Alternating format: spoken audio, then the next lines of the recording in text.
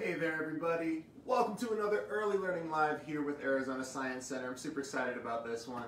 My name is Maverick, and today we're going to be talking all about caterpillars and butterflies and life cycles, especially. We're going to take you through the whole life cycle of a butterfly, all the way from an egg to a beautiful butterfly. And we're going to start with an awesome little story here called The Creepy Crawly Caterpillar. And this book is by Kara May and it's illustrated by Emily Bolam. And we're going to go ahead and get started. Y'all ready? This is The Creepy Crawly Caterpillar. When the world was new, Creepy Crawly Caterpillar lived in a bright new forest. Sometimes he went for a creep crawl, but mostly he didn't bother. He just lay on a leaf in the sun, dreamily looking around him. He's a nice lazy caterpillar hanging out on his leaf. His friend Worker Ant also lived in the forest. Ant liked to be busy, busy. Busy, busy, busy gathering food for the ant hill. Please stop and chat, Creepy Crawly Caterpillar said one day. I can't stop long. I'm busy, busy, busy, Ant replied. Look at that busy worker ant getting all that food for his ant hill. Suddenly they saw a bee go by. Swoop, swoop, swoop from flower to flower. I wish I could do that, Creepy Crawly Caterpillar said. Ant laughed. You can't swoop. You're a creepy crawly like me. Your feet belong safely on the ground. Swoop, swoop, swoop as the bees swoop into flower to flower and creepy crawly caterpillar and the ant are just hanging out on the ground. But then they saw a ladybug whizzing in circles, round and round. Creepy crawly caterpillar clapped and cheered. I wish I could do that too, he sighed. And I wish, wish, wish I could dance on the breeze like that dandelion puff. Don't you, Ant? Ant shook his head. I'm too busy for daydreams, he said, as Ant keeps working and the little ladybug is swooping around in circles. And Creepy Crawly Caterpillar just wants to fly around. But the next day, Creepy Crawly Caterpillar was no longer dreaming, and he wasn't on yesterday's leaf. I'm going to be busy, busy, busy like you, Ant, he called down. I've decided to learn to fly. Here I go, watch! Do you think he can actually fly yet?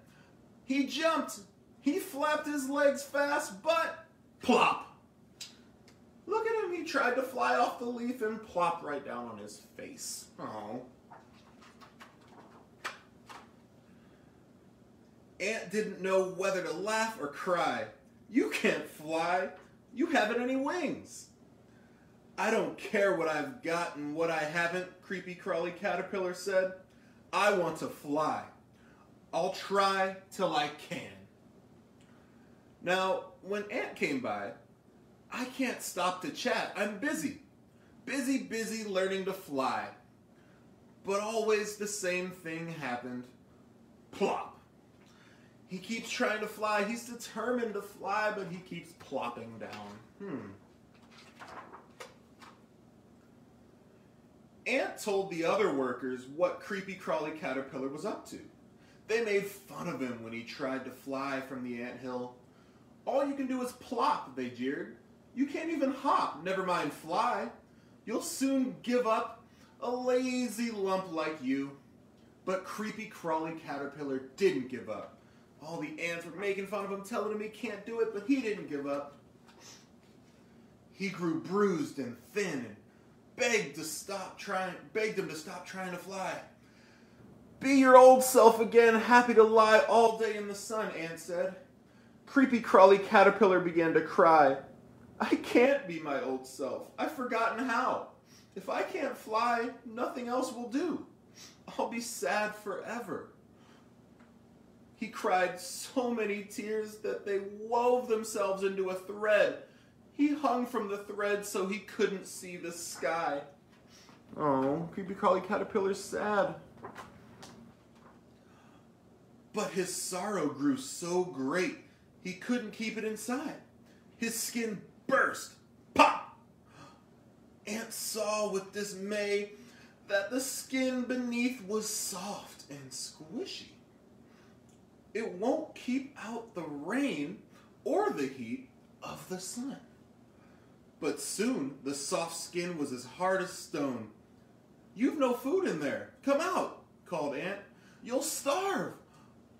But Creepy Crawly Caterpillar stayed in his spongy, stony, squishy skin prison day after day, silent and still. Oh man, he's hanging out in his new skin. Whoa. At last, Ant was so worried he fetched the workers. Look, he said, creepy crawly caterpillars covered in spots, spots of all colors. What's he trying to be now? A rainbow? The workers said.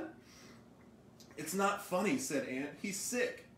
He made himself sick trying to fly when he's got 16 good legs to walk with. The workers hurried off, but Ant stayed with Creepy Crawly Caterpillar. He looked so peculiar and strange. Ant feared that soon his friend would die. Oh no, Creepy Crawly Caterpillar's getting all these colorful spots and just hanging out, and he's not eating any food. Hmm. But one sunrise, the stony prison went crack! It was Creepy Crawly Caterpillar. I want to get out. Help, Ant, he cried. Push, Ant urged. Come on, harder. At last, Creepy Crawly Caterpillar was free. Ant looked at him in surprise. You've only got six legs. Creepy Crawly Caterpillar glanced down. Flower petal things on my sides. What are these? I think, said Ant, they could be wings. Hmm. Look at that! Wings! Watch, I'll try them. Creepy crawly caterpillar jumped. I didn't plop, Ant. I'm flying. I can fly. Ant watched in wonder and asked, Do I wish I could fly? no, he said. I'm happy as I am, with my feet where they belong, safely on the ground. Off he went, busy, busy, busy, while creepy crawly caterpillar swooped and soared. Look at creepy crawly caterpillar flying now. That was long ago, but ants are still busy and caterpillars are still flying.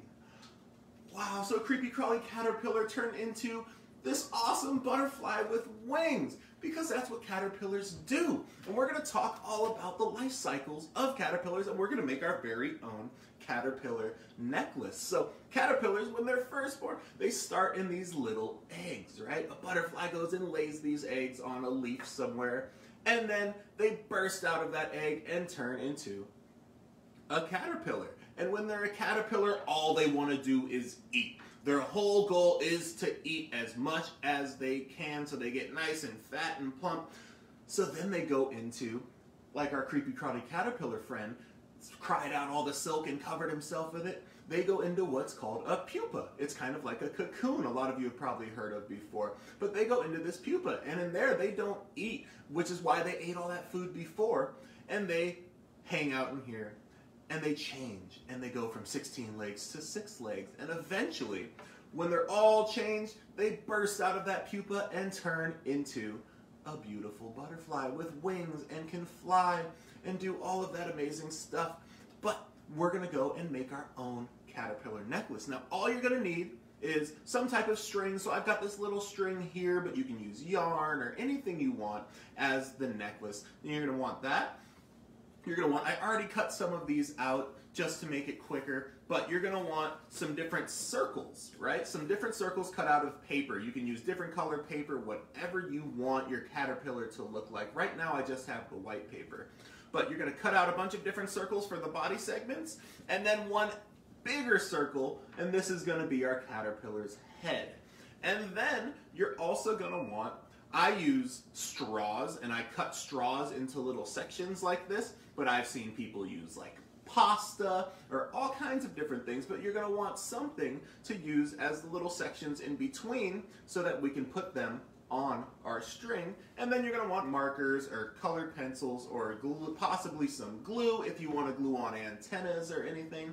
But what you're going to do is you're going to also take a hole punch or something to poke holes in it. And you're going to take one of your little pieces of paper and you're going to punch a hole right in the middle. So it looks like this. And then what you're going to do is you're going to take that and you're going to put it through your string. So it hangs out on your string like this. Now you can also add little feet if you want. And one thing, one cool thing to think about at home is what are some other things that might be on a caterpillar that I don't have on my necklace or that you'd be able to put on your necklace? Or what are some different colors? Another cool thing to think about is what might your caterpillar turn into? What type of butterfly would it look like? And then after you take your circle and you put it on there, then you're going to take one of your pieces of straw or pasta or whatever you want to use and put that onto the string as well. So it goes on like this. So you have a circle, then a straw. Then you're going to do the same thing with a few different sections. You're going to keep doing it with more sections. So I'm going to cut some holes out of a few of these. And my caterpillar is going to have four body sections, but yours can have more, yours can have less. You can make it however you want. Maybe if I can pick this up. There we go. And then you're going to keep doing the same thing. And I'm going to do different colors on my um, straws to alternate. So I'm going to go red, and then green, and then red, and then green. And you're going to keep putting them through there until eventually you get to, let's see, how many sections do I want? So we'll do red next. And then I'll do one more little body section. Whoop. And then the last part, after I do that one more little piece of noodle or straw or whatever you want to use, is you're going to take the biggest one and instead of putting a hole in the middle like we did with the body sections, we're going to put a hole towards the top. So we want it to be like that so that when we put it on there, the head will be a little bigger and hanging from the top. But before I put that on, I'm going to draw a little face on here. And this is where you can get extra creative. So you can draw a smiley face, you can draw whatever face you want. You can give them a little nose. I'm going to give them a little nose. I'm going to just draw some antenna on. But like you can see with this one, I glued some little pieces of antenna on. So if you want to cut out little pieces of paper or something like that to glue antennas on, I'm also going to give them some freckles because why not? Let's give him caterpillar freckles because our caterpillar friend in the book also had spots. So now you have your caterpillar face. And then you're going to put that on there onto your string eventually. And it's going to go all the way down and now you have a little caterpillar necklace. So then you can have your parents at home help you tie this around so you have a necklace. You can also make it if you want to make a smaller one, you can make a bracelet. But some things you want to think about are what is your caterpillar going to look like? Maybe you could even make different stages, right? So what would a pupa necklace look like? Or what would a butterfly necklace look like? Or you can add little things. You can add all kinds of decorations, right? In the book, they said they had 16 feet. So maybe you can take little feet and glue on just like you would with the antennas, or you could just draw them on and draw on a few little feet and see if you can make it all the way up to 16.